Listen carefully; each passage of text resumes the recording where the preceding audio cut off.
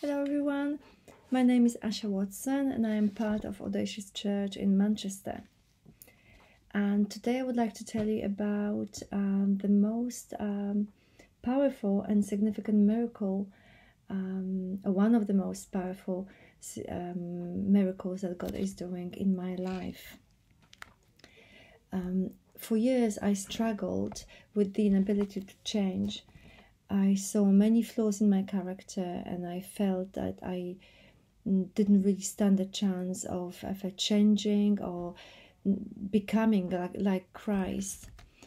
And um, I struggled with um, negative emotions and with anxiety, and um, I struggled with anger and irritation, and it was just um, like a um, a circle of negative emotions I could I just couldn't get out of, and um, mm, and I really um, I really desired to change. I really I prayed to change, and I just felt that I was unable to do to do it. I tried and I tried, and just not, nothing happened, and I just, I felt I felt um, I felt like a massive failure and I remember um, I was driving to work one day and I I was feeling really low, um, unhappy with myself, and just feeling really negative and you know angry at everything.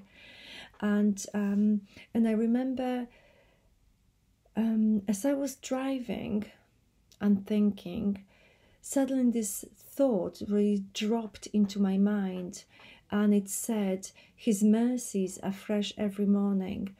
And um, I just knew that it was from the Holy Spirit. It wasn't myself.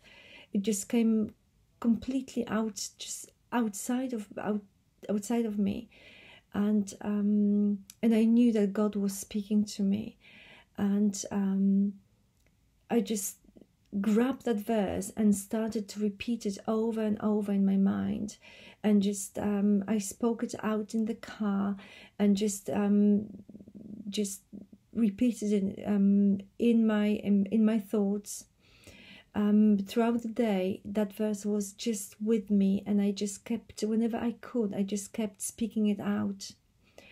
And I know that that day something happened. This, this was a beginning of my miracle. It was like a turning point because I know that from then I just felt that I could re- I could um, move forward um, and um, and I just God just suddenly, I mean not suddenly, but He started just um, sending people to me to help me to support me, and I've had uh, people praying for me, and I know that just something just shifted from that from that day when I uh, received that verse, and I've with that I just received that the strength that I needed to to pull myself up, and um,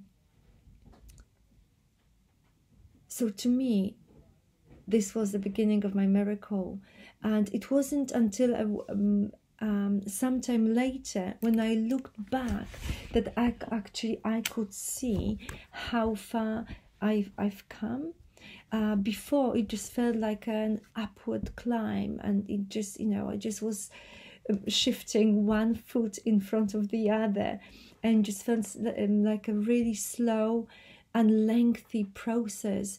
But that was okay. I was um, and i'm still happy because i um, then and now i know i'm on the move and I was just happy to be moving out of the place I was in, and that in itself was like an uh, an amazing miracle to me.